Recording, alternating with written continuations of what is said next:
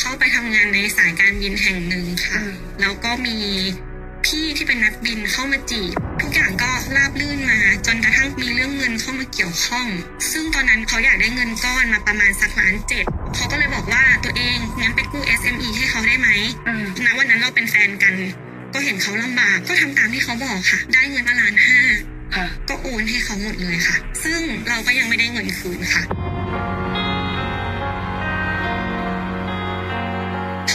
ามารถมีเงินตัวเองไป support เขาได้แล้ว ความสัมพันธ์มันเริ่มเปลี่ยนไปเลยอืมอยู่ดีๆมีพี่คนนึงมาเตือน คุยกับคนนี้อยู่ใช่ไหม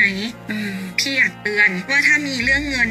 ให้ระวัง ผู้ชายคนนี้เป็นมิจฉาชีพ เขาใช้คำนี้เลยเขาใช้คำนี้เลยค่ะ จนพี่เขาเล่าเรื่องของพี่เขา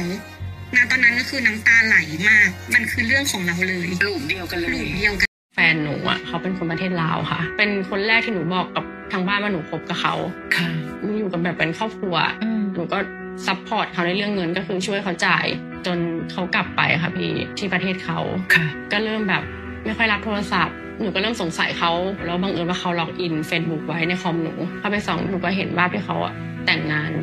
หอมแก้มกันอะไรเงี้ยค่ะพี่ ตัวเขาแต่งงานใช่ค่ะ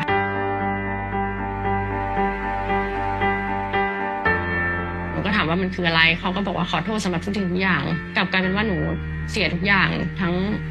ทั้งเงิน แล้วก็หนี้ทุกอย่างที่เขาทำไว้หนูก็ต้องมารับผิดชอบเกือบแสนนะพี่ แล้วเขาก็บอกว่าเธอเป็นคนตั้งใจให้เราเอง เธอจะมาทวงคืนแบบนี้ไม่ได้